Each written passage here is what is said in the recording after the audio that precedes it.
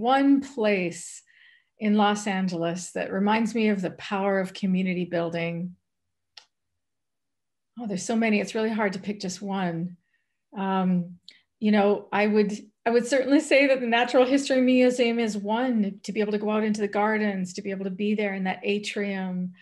You know, I think there's just so many places in LA to choose from. Gosh, it's so hard. Coffee shops, community centers, libraries. I feel like this is a city rich with hidden gems of places to go and connect with people and really feel connected. Of course, the farmers market, you know, and uh, I think Griffith Park as a green space in the city is a real strong reminder of the power of community.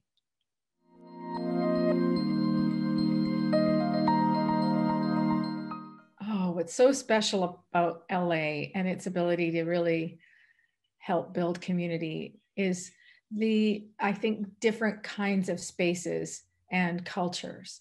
You know, there's uh, the little Ethiopia and Koreatown and, you know, Thai town and um, I recently went to Odessa. It's a Ukrainian grocery store that I didn't even know existed. I was craving foods of my family.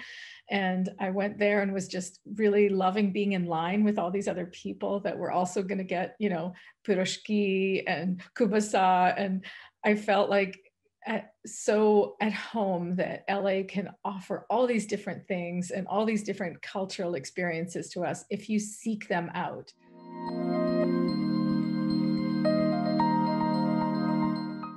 Oh, I can only describe Los Angeles in one word. I'm really not sure how I could do that. Um, I would say eclectic. There we go.